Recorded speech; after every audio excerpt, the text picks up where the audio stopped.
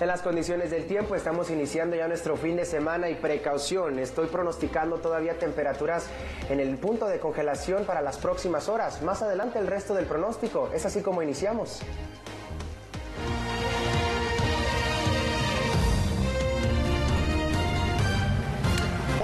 Buenos días, qué placer saludarles este 7 de enero, ya es viernes, el primer viernes del año y pues qué placer poder estar con ustedes. Hace frío, pero el calor de nuestros corazones es el importante y Gabriel, reconócelo, te gusta estar con nosotros, por eso has regresado a este horario con nosotros en este día. ¿Cómo estás, Daniela? ¿Qué tal? ¿Qué tal? ¿Cómo estás, Jorge? Muy bien. Gabriel, ni modo, te toca reconocer entonces, ¿no?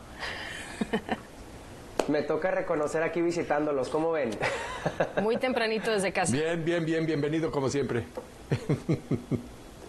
Cuéntanos, por favor, qué nos espera en cuanto pues, al tiempo, porque es un día... registrando temperaturas Sí, adelante, temperaturas congelantes, compañeros, adelante.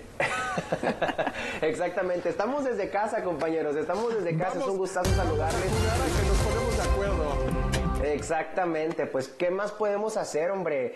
Pero vámonos de inmediato con el reporte del tiempo mejor, Dariela y Jorge, porque esta mañana pues definitivamente nos hemos estado con temperaturas bastante congelantes en el punto de congelación. ¿Qué le parece si le echamos un vistazo a lo que estamos registrando en este instante, especialmente en nuestra capital del estado, así como también en sectores en la ciudad de San Antonio? Bueno, pues la temperatura se mantiene en los 29 grados en el área de Austin. Es importante que por favor si va a salir de casa me tenga esa chamarrita a la mano. El factor viento no está ayudando para nada. Vemos la temperatura en otros sectores. Por ejemplo, en el área de New Braunfels nos mantenemos en los 32 grados, mientras que en el área de Del Río estamos en los 34. El área de Eagle Pass se mantiene en los 41. Vemos nubosidad variable también. Entonces, por favor, también tome esto en cuenta. La posibilidad de lluvia llegará para esta tarde y noche. Los efectos del sistema frontal se pudieran sentir incluso hasta el domingo. Y como le digo, ese viento también será el factor importante Vemos nubosidad en el condado Béjar, el área de San Antonio, Elotes, Shirts, así como también llegando a Elmendorf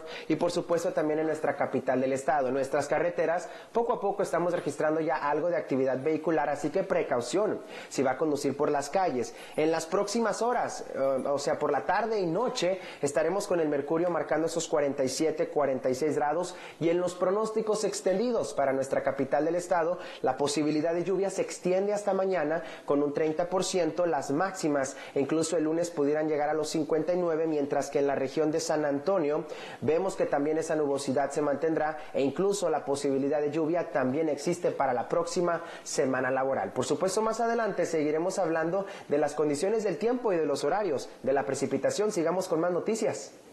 Gabriel, muchas gracias por esta información. Regresamos contigo más tarde porque de veras que las condiciones meteorológicas así lo ameritan.